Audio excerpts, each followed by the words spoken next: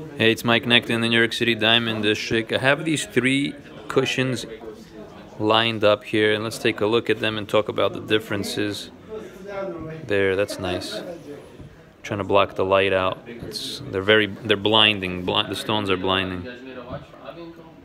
Okay, what we got here is a 2 point, uh, 2.80. This one's more elongated than, than the others. And it's a F color VVS1, very high quality. Moving along, the next one here is a carat 92.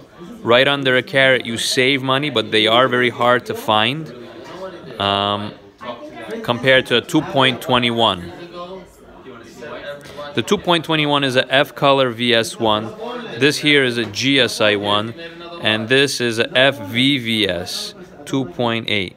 All these have um, excellent polish and symmetry grades, except for this one here. It has an excellent uh, polish, but a very good symmetry. And that's going to be reflected in the price. You get what you pay for. Some people want to save money, and that's a, an easy way to do it. I wouldn't say that while it's in the ring, it would be obvious to know actually which one has a very good symmetry grade versus an excellent symmetry grade. It's hard to focus on these because of the light. Let me see if I can move them.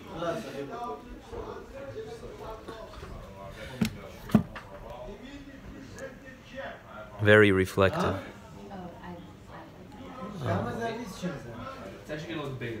That's. That's the 2.8 F VVS. It's a very colorless diamond.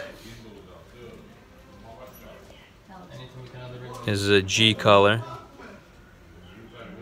And that's the F. Some prefer, some prefer a more square look. The the measurements here are 7.64 by 7.51. Others want it more elongated. It's a matter of preference if you ask me. 8.43 is the length in millimeters and 7.42 is the the width. This one here is a 731 by a 6.79.